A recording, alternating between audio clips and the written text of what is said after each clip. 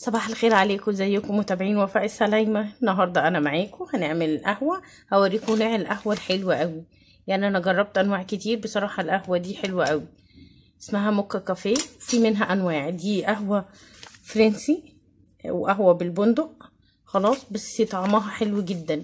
النوع ده بالذات اسمها موكا كافيه بالبندق ده. في النوع التاني لونه أخضر كده بس بجد حلو جدا. يعني أنا لسه أول مرة أجرب اللي هي بالبندق بس أنا جربت اللي قبله فكان حلو. كنت جايبة آه وسط بس كان حلو يعني آه بن وسط. بصوا هي باين ريحة القهوة ما شاء الله إن شاء الله تطلع حلوة. بس بصوا أهي دي اللي قبليها. هحط دول مع دول. بس إن شاء الله يا رب تعجبنا بإذن الله. وهقول لكم على طعمها بعد ما أجربها. هي لونها فاتح كده فأنا هجهز كنكة قهوة وأقول لكم على طعمها إيه ورأيي فيها بالظبط. هحط السكر بتاعي.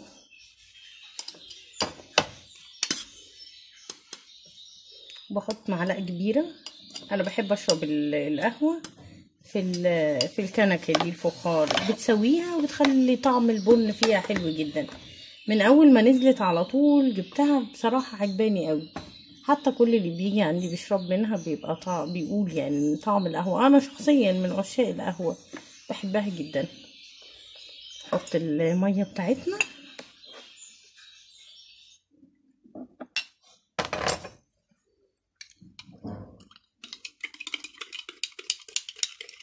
وهنحطها على النار دلوقتي.